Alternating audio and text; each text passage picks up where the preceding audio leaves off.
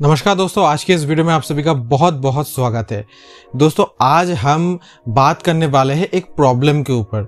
जैसे कि दोस्तों, आप सभी को मालूम है, जो एचपी है डेल हो गया, या फिर जो जितने भी कंपनी है लैपटॉप्स वगैरह मैन्युफैक्चर करते हैं, या फिर जो प्री बिल्ड जो डेस्कटॉप बेचते हैं मतलब ब्रांडेड डेस्कटॉप जिसको हम कहते हैं, इन सभी जो प्रोडक्ट्स है, सभी के अंदर हमें एक प्रॉब्लम देखने को मिलता है।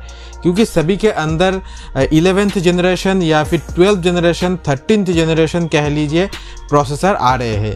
तो इन सभी प्रोसेसर्स के अंदर दिक्कत ये है कि फॉर्मेट जब आप करने जाओगे पीसी को फॉर्मेट ही नहीं होगा, क्योंकि फॉर्मेट के लिए आपको जो जो ड्राइव्स वगैरह है शो करता है उस पैनल पे कोई ड्राइव शो ही नहीं करता, क्योंकि जो ड्राइवर है, सपोर्ट नहीं करता है। इसके लिए आपको एक अलग सा ड्राइवर चाहिए। तो मैंने ये जो ड्राइवर है, नीचे डिस्क्रिप्शन में लिंक दे दिया है। आप वहाँ पे जाकर ये ड्राइवर को डाउनलोड कर सकते हो। सबसे पहले दोस्तों, ड्राइवर जो है, उसको कैसे इंस्टॉल किया जाता है पीसी के अंदर? क्यों ये प्रॉब्लम आ रहा है? सभी के बारे में आज हम खुल के बात करने वाले हैं। सबसे पहले दोस्तों, जो प्रॉब्लम है, उसके बारे में बात करते हैं। प्रॉब्लम दोस्तों जो है, अभी हर एक जो पीसी है, यही दोस्तों प्रॉब्लम आएगा, क्योंकि eleventh generation twelfth generation thirteenth generation के अंदर इंटेल ने अलग एक जो ड्राइवर है वो प्रोवाइड किया है, जो कि दोस्तों रैपिड स्टोरेज टेक्नोलॉजी है। अभी इसके बारे में अलग वीडियो में बात करेंगे ये रैपिड स्टोरेज जो टेक्नोलॉजी होता क्या है। अभी दोस्तों हम सॉल्यूशन की बात करेंगे। सॉल्यूशन में मैंने दोस्तों, मेरे शॉप में एक पीसी आया था, जो कि दोस्तों इलेवेंथ जनरेशन का HP का एक पीसी था आई फाइव के ऊपर। तो उस लैपटॉप में जब मैं फॉर्मेट करने जा रहा था तो वहाँ पे कोई भी ड्राइव शो नहीं कर रहा था। लेकिन लैपटॉप ऑन हो रहा था, बंदा जो है, वो पासवर्ड भूल गया था। तो उसको जो है, नया सॉफ्टवेयर डालना था फॉर्मेट करके। तो ये जो प्रॉब्लम अभी मेरे को फेस करना पड़ा तो मैंने इसके रिगार्डिंग बहुत रिसर्च किया दो तीन घंटे लग गया रिसर्च करते हुए ही, और मेरे को एक फ़ाइल मिला, जिस फ़ाइल के अंदर इसका ड्राइवर छुपा हुआ था। तो आइए, मैं आपको दिखाता हूँ, वो जो ड्राइवर है, उसको आप आपके पीसी के अंदर कैसे इंस्टॉल कर सकते हो। जैसे कि दोस्तों, आप देख सकते हो स्क्रीन के ऊपर कोई भी ड्राइव शो नहीं कर रहा है इस लैपटॉप के अंदर। तो मैंने क्या किया, ये जो पेन ड्राइव है, इस पेन ड्राइव को मैंने अपने कंप्यूटर के अंदर लगाया। उसके बाद मैंने इस पेन ड्राइव के अंदर एक फोल्डर क्रिएट किया और उसमें ये जो ड्राइवर है, इस ड्राइवर को मैंने इस पेन ड्राइव के अंदर कॉपी कर दिया है। इस ड्राइवर का लिंक मैं आपको दोस्तों नीचे डिस्क्रिप्शन में दे दूँगा। आप नीचे जाके जो डिस्क्रिप्शन से जो फ़ाइल है, उस, जो ड्राइवर्स है, उनको डाउनलोड कर सकते हो।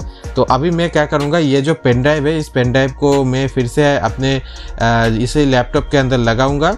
उसके बाद इसको एक बार रीस्टार्ट करना पड़ेगा। रीस्टार्ट करके मैं फिर से ये जो लैपटॉप है लैपटॉप के अंदर बूट मेनू में जाना पड़ेगा। बूट मेनू के अंदर जाने के बाद मुझे फिर से जो है पेन ड्राइव से ही बूट सिलेक्ट करना है। तो ये तो एचपी का लैपटॉप है, इसका जो बूट की है वो F9 पे आता है। तो मैं यहाँ पे F9 कुछ बार प्रेस कर लेता हूँ। और यहाँ पे जैसे कि आप देख सकते हो जो सैंडिस का पेन ड्राइव है वो आ चुका है। अभी मैं सैंडिस का पेन ड्राइव यहाँ पे सिलेक्ट कर लेता हूँ। यहाँ पे दोस्तों, कुछ देर लोड होने के बाद हमारा जो सॉफ्टवेयर है वो ओपन हो जाएगा। ओपन होने के बाद दोस्तों, आपको करना कुछ ही नहीं है। बस नेक्स्ट नेक्स्ट करते जाना है। जहाँ पे दोस्तों आपको ये जो प्रॉब्लम आ रहा था, वहीं पे आपको बस नीचे की तरफ़ एक देखिएगा ऑप्शन आपको मिलेगा कि लोड ड्राइवर कह के एक ऑप्शन आपको देखने को मिल जाएगा। तो आपको वहाँ पे क्लिक करना है, उसके बाद ब्राउज में क्लिक करना है। ब्राउज में दोस्तों क्लिक करने के बाद आपने वो जो फ़ाइल है, जहाँ पे दोस्तों आपने कॉपी किया है पेन ड्राइव के अंदर, उसी फोल्डर के अंदर जाना है। फोल्डर के अंदर जाने के बाद आपको ड्राइवर जो फोल्डर है उसको एक्सेस करना है। फिर दोस्तों आपको सबसे जो नीचे वी एम डी करके एक फोल्डर है, उसको सिलेक्ट करके ओके में क्लिक कर देना है। तब दोस्तों आप देखोगे कि दो ड्राइवर आपके सामने शो होगा। दोस्तों सबसे पहला जो ड्राइवर है R S T V M D controller nine A zero eight करके इसको सिलेक्ट करके बस आपको नेक्स्ट क्लिक कर देना है। अभी दोस्तों ये ड्राइवर इंस्टॉल होने लगेगा। इस प्रोसेस में थोड़ा सा वक्त लग सकता है। एक बार ड्राइवर इंस्टॉल हो जाने के बाद दोस्तों देखिएगा कि इसके अंदर जो ड्राइव है वो शो करने लगेगा। जैसे कि आप यहाँ पे देख सकते हो, ड्राइवर प्रॉपर इंस्टॉल हो चुका है और यहाँ पे हमारे सभी जो ड्राइव्स है वो शो करने लग गया है। अभी दोस्तों आप आपके हिसाब से ड्राइव को फॉर्मेट या फिर डिलीट करके इंस्टॉल कर सकते हो। जो सॉफ्टवेयर है उसको तो अभी मैं इसको प्रॉपर फुल्ली डिलीट कर दूँगा। जितने भी ड्राइव है उनको डिलीट करके मैं यहाँ से दो सौ का एक सी ड्राइव क्रिएट करूँगा और बाकी का डी ड्राइव क्रिएट कर दूँगा। उसके बाद जो सी ड्राइव है उसको फॉर्मेट करके आ, मैं इसके अंदर सॉफ्टवेयर डाल दूँगा। हमने तो यहाँ पे सी ड्राइव बना लिया है और यहाँ पे डी ड्राइव भी बन चुका है। अभी इन दोनों को एक एक करके फॉर्मेट कर देना है। फॉर्मेट होने के बाद जो सी ड्राइव है, उसको सिलेक्ट करके यहाँ पे मैंने नेक्स्ट में दबा दिया। और जैसे कि आप यहाँ पे देख सकते हो, जो हमारा विंडोज़ है, अभी दोस्तों जैसे कि आप देख सकते हो विंडोज़ जो है वो इंस्टॉल होना शुरू हो चुका है हमारे एचपी के इलेवेंथ जनरेशन लैपटॉप के ऊपर।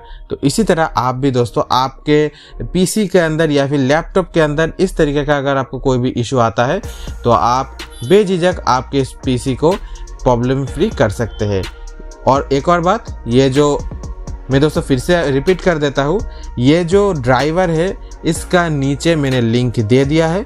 डाउनलोड कीजिए और आपका प्रॉब्लम सॉल्व कर लीजिए। दोस्तों, आशा करते हो आप भी इस वीडियो को देखते हुए आपका जो समस्या हो रहा है, उसका समाधान आपने कर लिया होगा। अगर आपको आज का ये वीडियो अच्छा लगता है तो ज़रूर से एक लाइक कर दीजिए आज के इस वीडियो को। शेयर कीजिए इस वीडियो को अपने दोस्तों के साथ। अगर आपका दोस्त को भी सेम इशू आ रहा है तो हेल्प कीजिए आपके दोस्त को इस वीडियो को शेयर करके। अगर आपको कोई भी क्वेश्चन है आज के इस वीडियो के रिलेटेड तो नीचे कमेंट कर दीजिए। हम कोशिश करेंगे आपका हर एक कमेंट का आंसर देने की।